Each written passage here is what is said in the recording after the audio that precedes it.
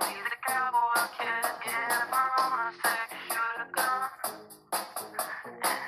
of closet, born as a the phone